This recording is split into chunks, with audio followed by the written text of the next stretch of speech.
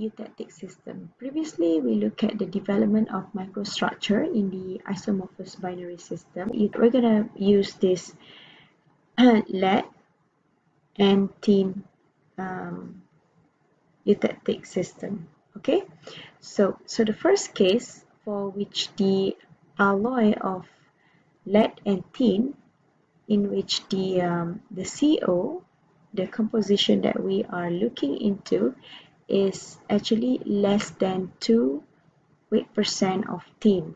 So if it's less than two weight percent of tin, it's actually located at almost pure region of lead. So this is like almost pure region or we can say pure region lah pure region of lead alright so for the lead tin system this includes the lead rich alloys containing between 0 and about 2 weight percent of tin okay? Um, as we cool this alloy as we cool down from this temperature okay at point A we look at this point A. This is the microstructure will look like or shall look like in which it's just a complete plain circle and it's just liquid. There is no appearance of solid at all.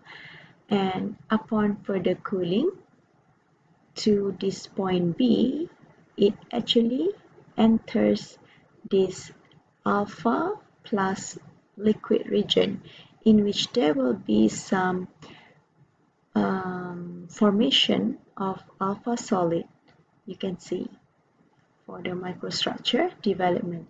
This is solid and the yellow colored circle is the liquid.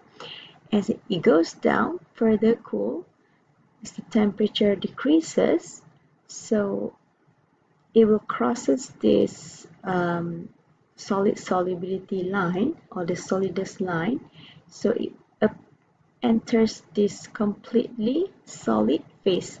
So all the liquid will be solidified. So we have 100% alpha solid here. Okay? And it goes down and down and down further down and there will be no more changes in the microstructures. Let's look at the second case of the microstructural developments in eutectic system.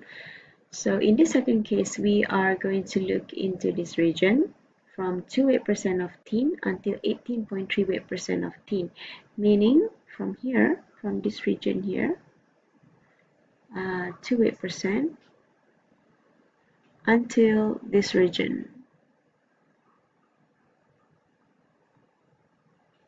Which is 18.3 so why 28% so this is the um, the room temperature solubility limit because it will go down until room temperature.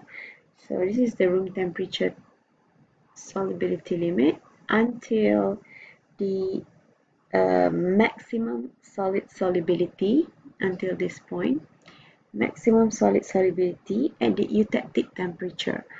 So this is the region that we are going to look into. Which is from here to here. So let's focus on this line here. The dash line which connects x to x prime. And along this line we have four points. Point D point E point F, and point G. The development of microstructures at point D, E, and F are very semi similar to the first case which I have explained in my first video or the previous video. Now, from point F, if we further cool the alloy, it will crosses this solvus line and entering this alpha plus beta solid solution region. So let's look at this point G in which we are taking, we are focusing on uh, C2 here, the, this, this type of this composition, okay.